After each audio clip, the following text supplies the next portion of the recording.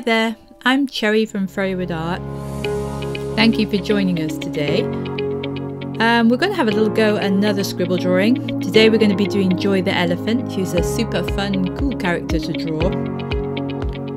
Scribble drawings are kind of fun, stress-free ways to draw and create texture.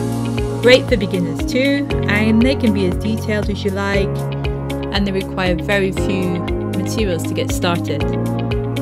Today all we need is a little bit of smooth paper. So if you haven't got any hot pressed watercolour paper, which is what I'm using, uh, feel free to grab some printer paper or a bit of cartridge paper sketchbook, anything like that. And I'm using a selection of permanent ink pens. I'm using a 0.5, a 0.3 and a 0.1 in black. If you don't want to use black, I don't use black very often, but if you don't want to use black, you can use green, pink, purple, any colour that you have.